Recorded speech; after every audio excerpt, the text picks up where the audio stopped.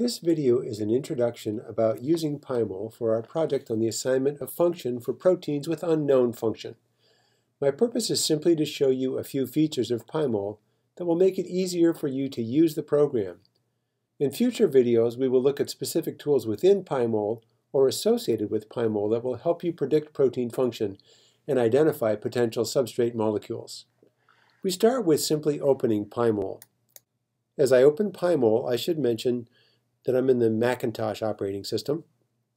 And so this is what PyMol looks like on the Mac. It'll be slightly different in Windows and Linux, uh, but much the same. And one of the key things in the Mac is when you open PyMol, to be able to use all the tools that we have, you also need to have something called Xquartz opened up. Uh, and Xquartz is something you can find to download. And in fact, when you try to install PyMol on your computer, if you have a Mac, it will probably tell you you need to download Xquartz. The reason we need Xquartz is that the version of PyMol for the Mac that accesses plugins only works if you have uh, something called X11 installed, and Xquartz is the latest version of that. So if I want to use plugins, and I will, in this particular case I have the Promol plugin attached here uh, and functioning, in order to use that I have to have Xquartz attached. So if we look at PyMol, the bottom window here is the molecular viewing window. And so the molecules will show up here on the left-hand side. On the right-hand side is what we call the internal graphical user interface. And we'll use that some a little bit later. The top is a separate window. I can move it around here. And this is actually the external graphical user interface. Whenever you use PyMol, if you're using uh, PyMol to visualize something and, and the view becomes very strange for any reason, you can always go under the File Input menu and select Reinitialize. And that will simply uh, take whatever you've done, get rid of it, and you can uh, start over. And if we look at PyMol in the, uh, the external user interface, there, there's a window here where you can enter Python commands. Now I'm not going to try to teach you Python here. You can learn that if you're really interested. But there are a few simple commands that we can use and I'm going to use a particular command to bring in a protein. Now the protein that I want to bring in is found on the protein data bank. So I'm going to look it up and I'm particularly interested in looking at a version of HIV protease that contains an inhibitor called saquinavir.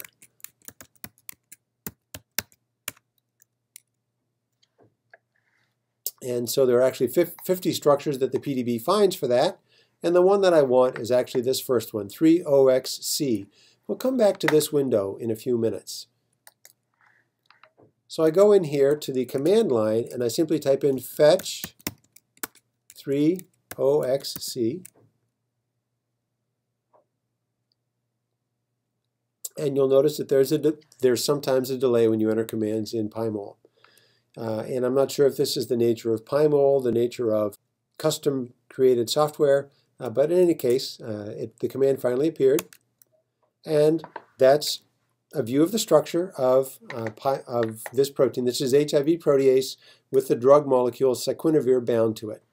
And this is just a, a stick structure, and we're gonna, I'm going to show you some commands that will enable you to use uh, this structure a little more effectively.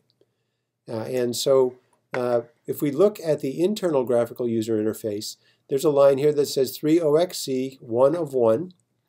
And there are different commands or different buttons here. The H button is for hide. So if I click on the H button and I go down to waters, I first look at the structure and notice that we have a lot of little dots all around the structure. Those little dots represent waters. If I click hide waters, they go away. And the next thing I'm going to do is click the S here for show, I'm going to show cartoon. So this shows the HIV protease as a cartoon, but you still have all of the, the lines and sticks from the backbone of the protein in the side chains. So I'm going to hide those. So I'm going to hide sticks and lines. And now all we see is a cartoon representation of HIV protease. And you can obviously you can rotate that in the PyMol interface. Now I also want to show the inhibitor. So what I'm going to do next is I'll click on this S button, which enables me to select things on the protein. When I click S, it brings up this uh, viewer on top of the molecular viewer window. Uh, and here we see it identifies the protein as 3-OXC, chain A, and residue 1 is a P for proline, residue 6 is a W for tryptophan. I can scroll along here, and I get to the end of the amino acid chain at LNF, and then I have three other molecules here, uh, 401, 801, and 803.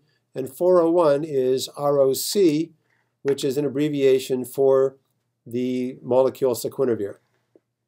And now I want to show that as sticks, and so I just did. And so now you can see that structure of the inhibitor that's in the middle of the active site of this protein. Now, right now, that's what's selected. And so if I if I want to change the view of that, let's say I want to make it space fill, I can say show space or show spheres, and it comes up looking like that. And if I I can hide the spheres, and it goes away. You can also show uh, dots, which is kind of a nice semi-transparent version uh, where you can, if you zoom in, or you can see the bonds on the inside. But I'm going to hide the dots as well. So those are a few simple commands you can use to visualize the molecule you're working with.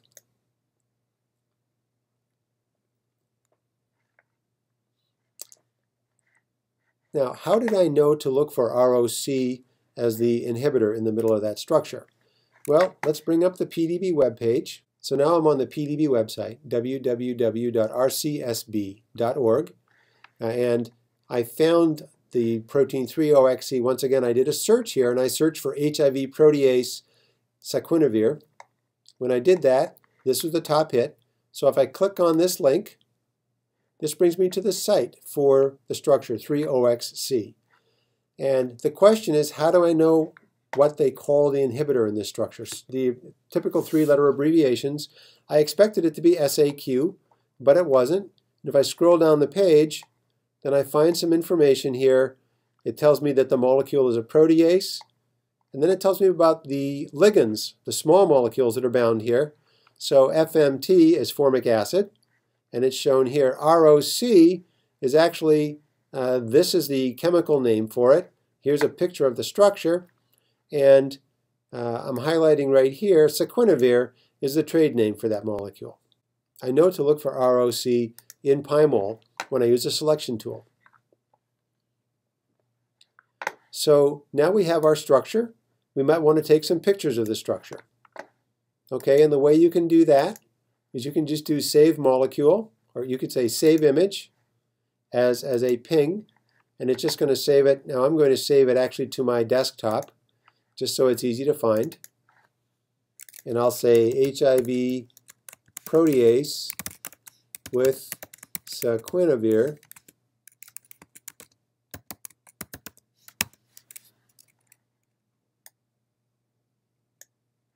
and it saved it there. And if I double click on it, it just comes up here in a window for preview on the Mac. So those are a few simple tools that will help you get around the interface uh, in Pymol. Uh, the last thing I should mention once again is the plugin menu. And so this is what we use to gain access to our plugins. The plugin that we're using, Promol, enables us to do alignments between query structures, these are proteins of unknown function, and proteins with a known function that are found in our library. And in fact, the alignment is actually with the active sites of those proteins. That marks the end of this video, and there will be other videos with more depth on using Promol, on using the protein data bank, and on using the other tools that are part of this project.